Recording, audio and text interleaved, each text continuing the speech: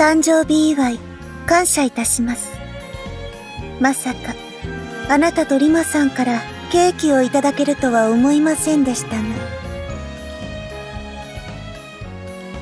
ねえねかちゃんは私の夢を叶えてくれた恩人ですものこれくらい当然だわ彼も彼でお礼がしたかったみたいだし情けは人のためならずといったところですか。そういえばあなたにも計算や常識を教えていた時期がありましたね。どれも私の都合でやったことですが社員については受け取っておきます。日頃の行いの成果こうして感謝される機会は限られていますので。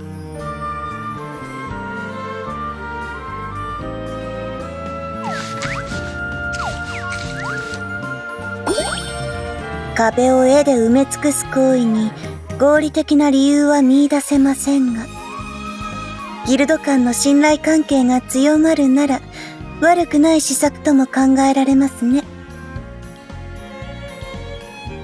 そうそう。難しく考えちゃダメ。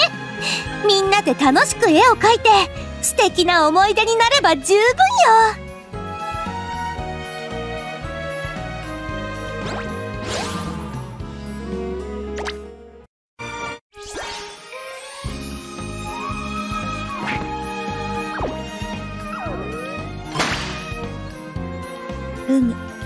良い思考ですね。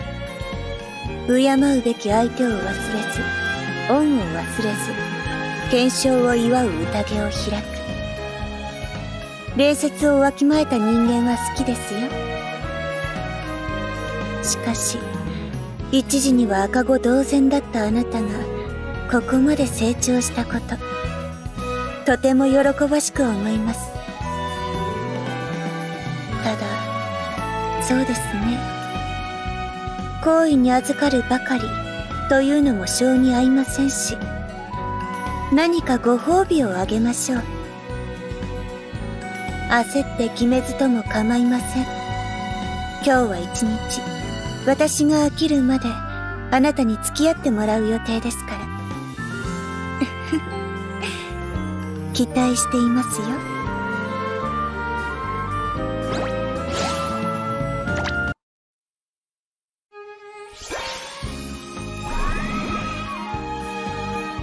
こんにちは。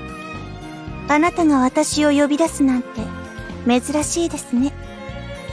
それで何事ですか？理由によってはあなたに人とのコミュニケーションについて教育が必要になりますが。誰のですか？私の？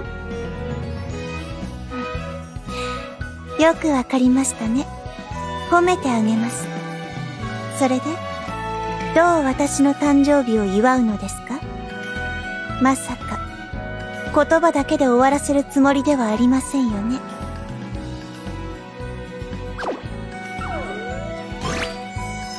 これは、プレゼントですか？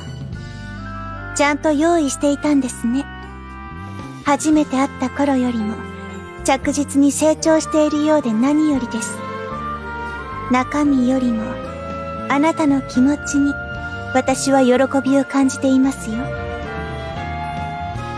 大人になると誕生日を祝福されなくてもいいと思っていましたが存外嬉しいものですね。さてまだまだ私を祝ってもらいますよ。当然です。一日が終わるまでにはまだ時間がありますから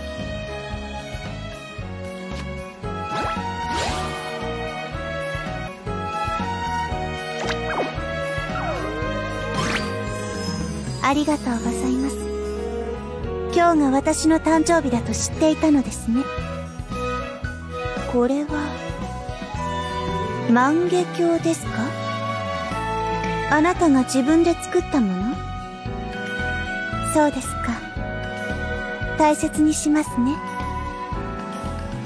祝ってくれたことはもちろんですが、あなたがこうして、自分で誰かに贈り物をできるようになったのが、私にとっては何よりのプレゼントですよ。よく頑張りましたね。大人になると、誕生日を祝福されなくてもいいと思っていましたが、存外嬉しいものですね。さて、まだまだ私を祝ってもらいますよ。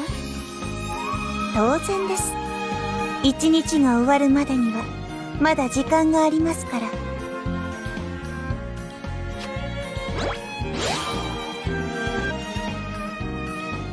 あなたにですか？ありません。一体どういうつもりですか？あなたに施すことはあっても、施されるような覚えはありませんよ。なるほど。そういうことでしたか。少しだけ驚きました。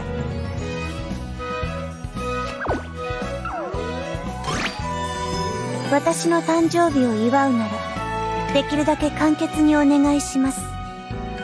ともあれ、気持ちはありがたく受け取っておきますね。ありがとうございます。大人になると、誕生日を祝福されなくてもいいと思っていましたが、存外嬉しいものですね。さて、まだまだ私を祝ってもらいますよ。当然です。一日が終わるまでには、まだ時間がありますから。